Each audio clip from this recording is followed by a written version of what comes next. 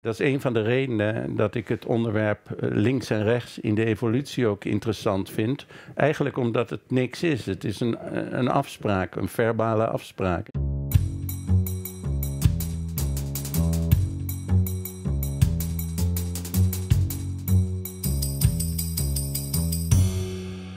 Van je eerdere essays kwam ik iets tegen, dat vond ik wel interessant. Dat was dat er vaak heel veel belangen bij gemoeid zijn om een, een, een scherpe scheidslijn te trekken tussen bepaalde dingen. Nou, je had het net al over hokjes, dat we die kennelijk al heel erg belangrijk vinden.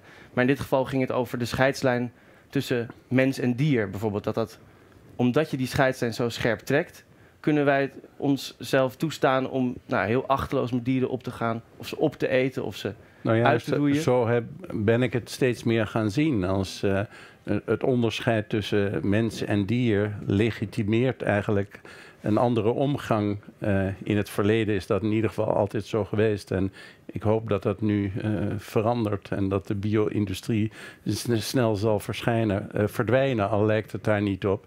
Maar die, dat dualistische denken in mens en dier in plaats van in mensen als primaten, weliswaar hele intelligente en bijzondere, maar toch ook primaten en andere dieren.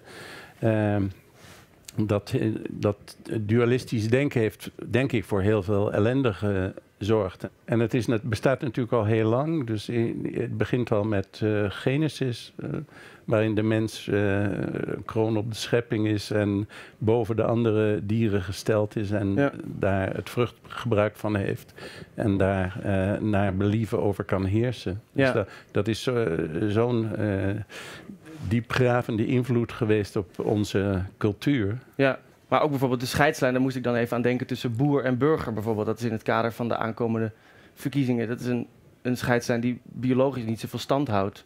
Maar waar we toch, ja, waar toch heel veel belangen bij gemoeid zijn dat we die uit elkaar houden.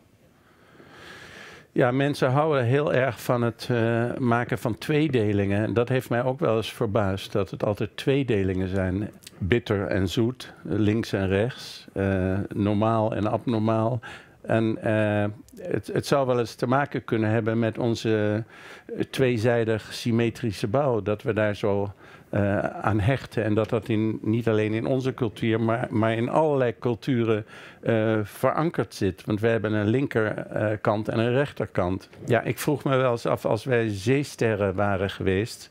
dan was misschien alles wel in vijven gedeeld. Ja, Dus eh, misschien is die koppeling, eh, heeft die te maken met onze sy- symmetrische bouw en een, ja, een spiegeling om een symmetrieas. En eh, dat is een van de redenen dat ik het onderwerp eh, links en rechts in de evolutie ook interessant vind. Eigenlijk omdat het niks is. Het is een, eh, een afspraak, een verbale afspraak. ja. Daardoor zou je bijna kunnen denken dat we een beetje universeel verslaafd zijn aan die dualismes. Nou, het is natuurlijk ook makkelijk.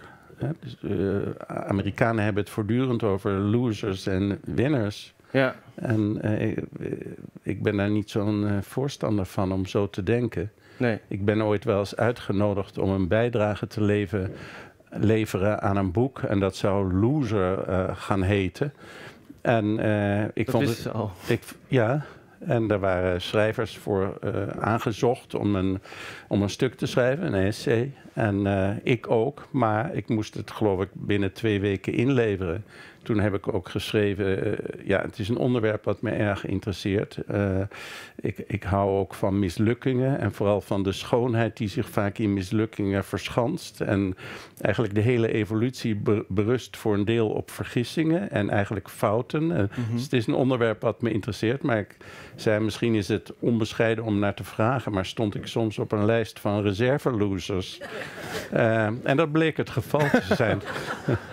er was dus een echte loser ziek geworden en hadden ze mij nog eh, voor, voor het geval er eh, iemand zou afvallen. Ja, Dus, eh, om, dus ja, en vervolgens had je alle tijd om dat op te schrijven. Van, nee, ik heb ervan afgezien. ja.